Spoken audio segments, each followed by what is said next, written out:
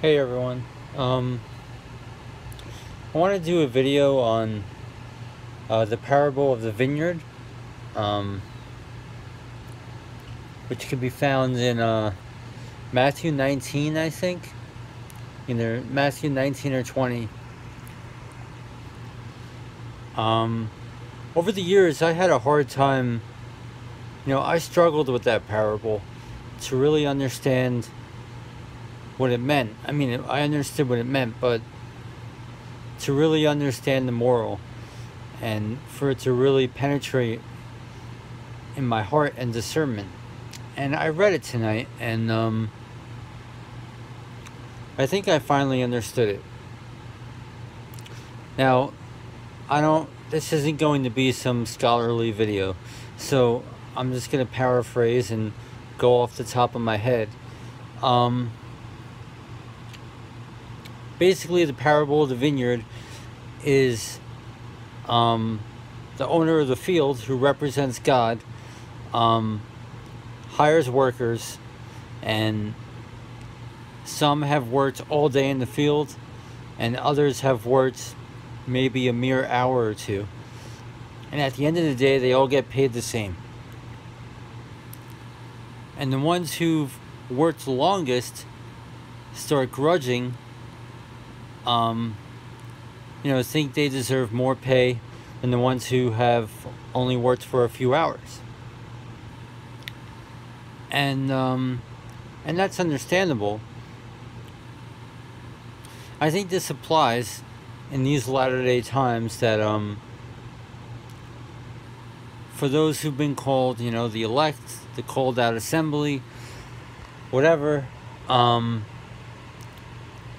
some of us have been working and walking with the Lord almost our whole lives for decades.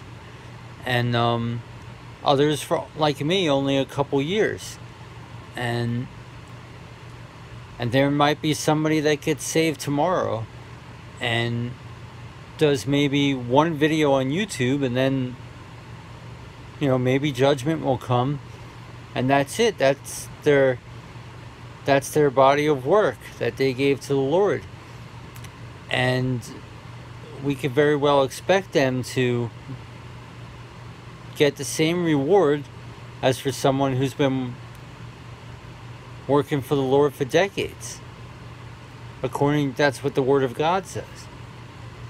So why why should we not grudge? Like what is the point of this? The way this was able to sit in my heart was because this generosity of God, of God giving the same reward or the same amount of pay to somebody who worked for a mere hour as compared to somebody who worked for hours. Although that seems not fair, but that generosity in God should not be grudged over, it should be embraced we should be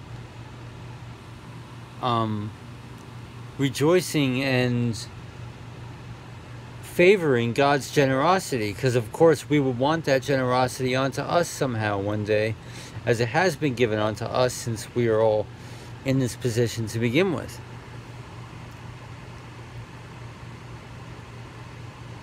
And um, of course they hit me with forgetting what I wanted to say. But also, it could be taken another step further. Um, if you were ever put in that position where you felt like you, you know, have gone through so much for the Lord, and somebody who has gone through very little um, gets the same amount of pay, so to speak.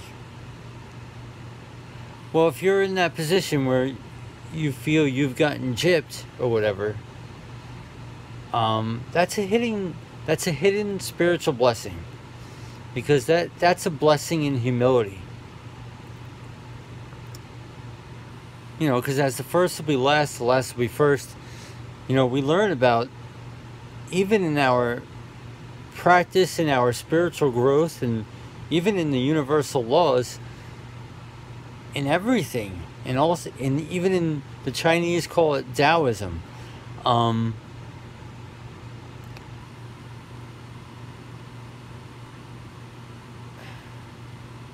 you know, you could, for example, by being the holiest is to not be so holy. You know, that that's what Taoism teaches. And, you know, in order to govern and rule over people is to not rule over them and to not govern them. Um, this vortex, this, you know. So if we're humbled by the Lord in such a way where we feel we've gotten ripped off or whatever, that that's a huge spiritual blessing. That humility is a spiritual blessing. Because that humility in maybe being cast into the shadows or whatever um, gives us huge spiritual growth and an individual strength that um, that well a higher stature is just lower than you understand what i'm saying? Um, yeah. So i mean you know the universal laws and polarity and um, everything you know every all spiritual teachings and practices teach this this kind of vortex and um, you know, this is why God chose the foolish things to confound the wise. Why the weak things to shame the strong. It, this is just how it works, you know? Um, God works through Taoism a lot of times, it seems, you know? Um, so anyway, that that's kind of my analysis in the parable in the vineyard. Um, I have a lot of background noise, so I don't know how this video is going to come out. Um, and I hope this was helpful and understandable. So, you know, if if you are humbled in such a way, remember that that gives you a greater strength that is unmatched and an interpersonal growth that that cannot be received unless you are humbled, you know? So yeah, so I think it goes further. So you know, because we, it's an important parable to understand because maybe we should be expecting that, you know. I don't, we don't know what's coming, you know, and, you know, the scriptures say a lot of people who are asleep, God is going to awaken on the last day, you know.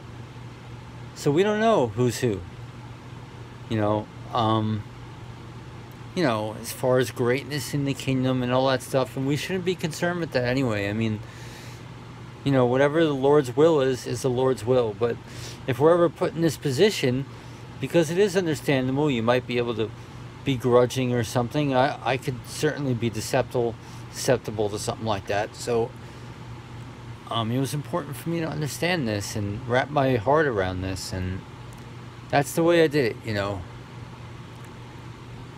Um, you know, embrace and encourage and celebrate that's probably the proper word, celebrate God's generosity onto others. And also, if we are humbled in such a way, that gives us an individual greatness and an individual spiritual strength that most people will not have.